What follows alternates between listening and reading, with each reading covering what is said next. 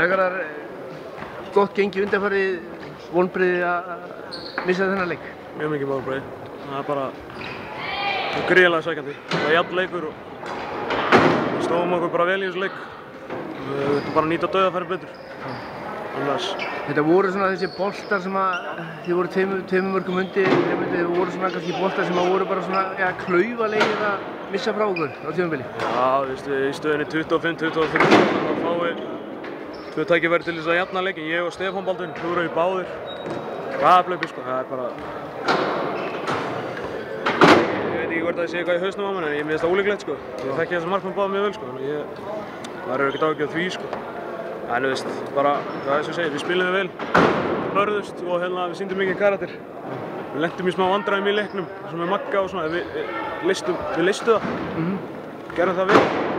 Þetta var bara hörkuleikur, þetta var bara alveg byggarleikur og það var hundleðilegt að tapa þessu. Það er bara, það er umöðulegt. Tekur náttúrulega rosalega kraft úr að ja, vera í ja, 40, 45 mínútur eða 50 mínútur að elda. Já, já, það er alveg erfitt, sko. Það er erfiðar heldur en að vera með fórustu, það er klart, sko. Þú getur slappað aðeins meira aðvörð með fórustu.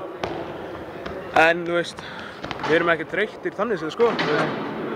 Við erum bara, hvað ég skal segja, ef við hefðum nýtt þessi döðafæri, þá hefðum við bara unnið. Það ég kannski ekki segja að við höfum þurft að nýta öll döðafæri, skulum gefa markmannum eitthvað smá kredit, en þetta voru ómörg döðafæri sem við slúðum. Það fóð með leikinn. Jákvætt, uh, sæmilu vörn. Það er margt jákvæmt í þessu leik. Alveg, við erum með fína vörn og hérna, við komum okkur, við sóknum okkur var góð þó við skorum bara 24 mörg, sko, það er ástæða fyrir að við erum ekki með 30, sko, það er öll þessi döðafæri Já. og það er bara, það, það er mjög margt jákvæmt í þessu leik og hérna, eina neikvæð sem ég sé úr þessu leik er hvað við förum ítla með döðafæri. En, þú veist, þetta er umulett og, þú veist, ég er brjálaður núna í hálftíma en ég múið fara í ríkala mikilvægan leik á lögadaginn og sem ég segi, ég er pyrraður núna og og cirka tíu hætti ég kannski að vera pyrraður Já. hver að hugsa, að hugsa um aðgurðarleikin Já. Pyrrar svona lengi, farið í skóin í kvöld? ég, kannski ég bara kaupi bara eitthvað handa mig sjálfur setja skóðan út, Já. það getur verið en, En hérna, mikill bati í leiklýsin svona undanfjöldin leikjum og þeir að leikja Íslandsmeistarana, þeir að leikja efstalið í deildinni, uh, hlýtur að vera komið já, sjálfströst og, og Það er stígandi lið. Já, já, það er miklu meira sjálfsett í hóp.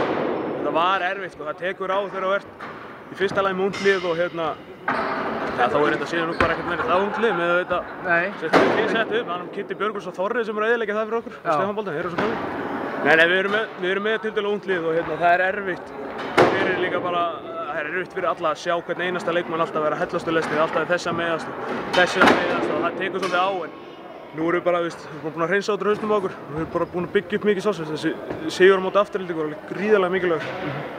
Og hann- rosaleg barátta sem að liði síndi það er mitt. Já, mjög mikil og við líka hugsaum við bara þann leik, sko, nú er bara, það er bara núna aldrei, sko. Mm -hmm. Annarkvært þurfum við bara að taka og við veist, líka hugsaum lögum þetta upp þannig, þetta er topplið, það er hrikalega stert að koma og taka á. Annarkvært þurfum við bara að gera það núna, ég er bara að sleppa þessu. Og við tókum og það bara, við erum búin að byggja hana það síðan. Það veist, við tökum mjög margt út af þessum leik sem er mjög jákvæmt. Þó að þessi pyrraður eru að detta út úr byggar og svo. En það var margt í þessu leik sem var mjög gott. Þannig að sjálfsveitin fyrir bara hækkandi. Það sé það eins og í fyrra þegar liðið er komið á skrið og komið á svona, já, sigurbraut, það, svona, það heldur áfram. að við erum erfiðið þá sko. Við nýtum okkur það að hafa vindin í baki og hérna, það er það sem þú þarfst að gera. Og við ætlum okkur að halda áfram og fá tvösti með okkur heim á Akureyri hérna á Lóðardaginn. Þannig að það er bara næsta erfinni.